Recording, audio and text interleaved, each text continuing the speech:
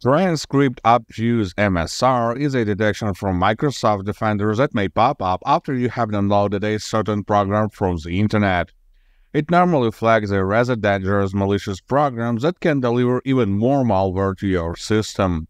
In some cases, however, it can be a false positive detection, and in this video, I will explain how to understand whether the detection is real and how to remove the malware.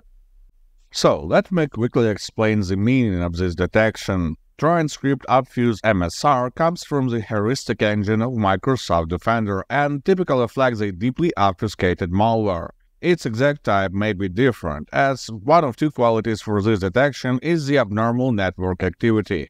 The second one, as you may guess, is the script having deep obfuscation. Despite such a blurry definition, there are samples of well-known malware families that are getting detected with that name more often than others. One particular example is Darkgate Loader, a malicious program that aims at weakening system security and then injecting more malware into the computer. And when I say more, I mean any possible type, from adware to spyware, backdoors, and even ransomware.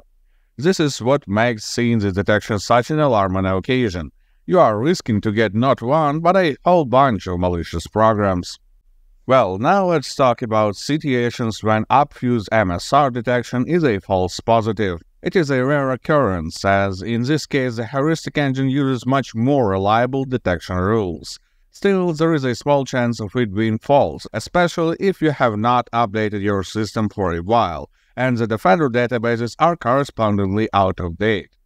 Pay attention to the name of the affected file and its location. If they correspond to a program you know and trust, then you likely face a false positive.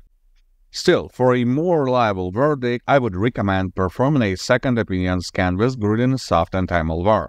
Its multi-component detection system will detect the threat if it is present, or debunk the false positive. Download it by the link in the video description and run a full scan. This way, the program will check the most remote corners of the system. The scan will take around 15 minutes.